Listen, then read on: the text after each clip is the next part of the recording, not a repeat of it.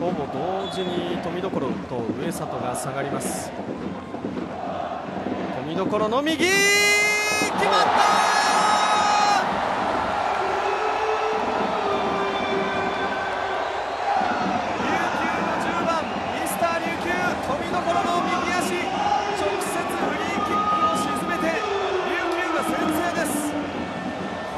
素晴らしいキックですね。誰か当たったんですかね。ちょっとああ飛んでないですね。これはもうキックを褒めるしかないですね。本当にあの狙ったところにしっかりと入ってきましたね。富所は、まあ、J3 時代ですけれども、はい、直接フリーキック17年と18年で合計8本決めてるんですけれどもこれで9本目ということになりました。